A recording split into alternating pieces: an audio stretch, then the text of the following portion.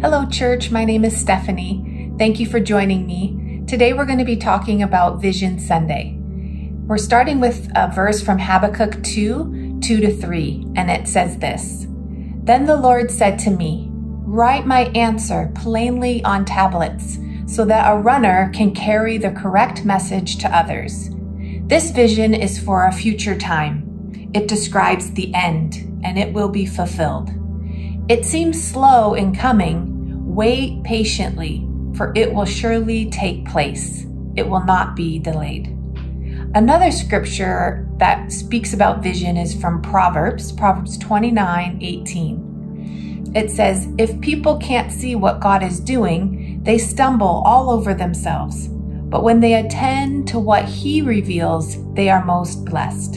From the message version.